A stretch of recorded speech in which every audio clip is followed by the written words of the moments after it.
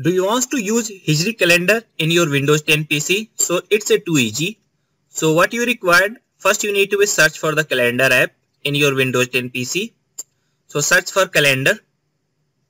Uh, sorry, I spelled wrong. You need to be search for calendar and then after just open it. And now click on no. Now you need to be click on the setting option in the down.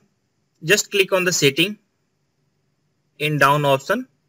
Click on the setting and then after right hand side select the click on the option calendar settings. Okay now in down select the option alternate calendars. And in the second option just click on the second one.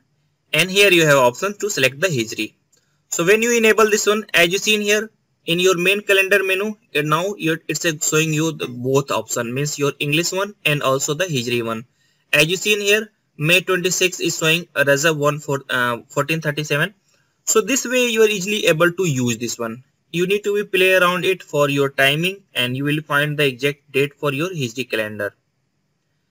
Actually Hijri calendar is used by the Islamic uh, is Islamic calendar means most of the uh, most of the thing that we are doing in, in, Islam is you need to be follow the Hijri calendar.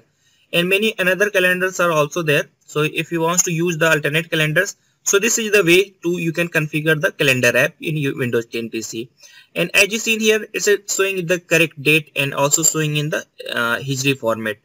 So hope you like my videos. Please subscribe. Thanks. Thanks for watching